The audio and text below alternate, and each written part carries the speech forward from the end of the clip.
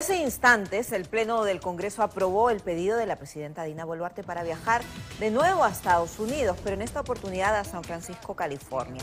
Así la mandataria va a participar de una nueva edición de la reunión de líderes económicos del Foro de Cooperación Asia-Pacífico, APEC, que se va a realizar el 15 al 17 de noviembre. El canciller Javier González Olaechea dijo que se había presentado en el Parlamento para, bueno, solicitar la autorización pertinente.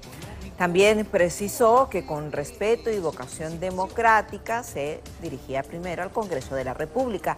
Refirió que había conversado con el secretario adjunto del Departamento de Estados de Estados Unidos a fin de tener las mejores condiciones para que la presidencia de la PEC se transfiera de Joe Biden a la mandataria.